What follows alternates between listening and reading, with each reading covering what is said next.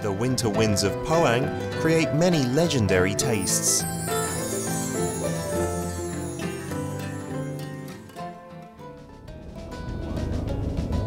Guryongpo is named after a legend of how nine dragons ascended to heaven.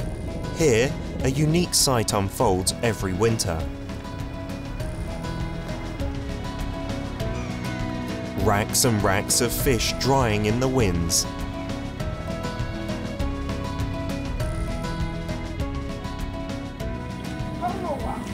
This is Pacific saury, the main ingredient of gwamegi.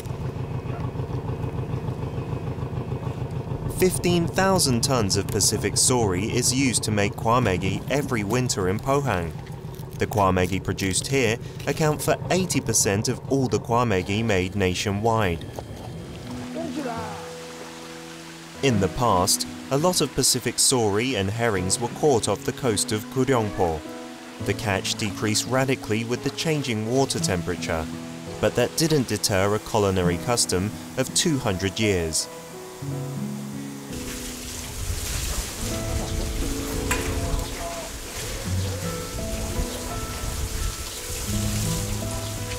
Come winter, people get busy making gwamegi. They remove the organs and bones of Pacific saury and leave it to dry for three days.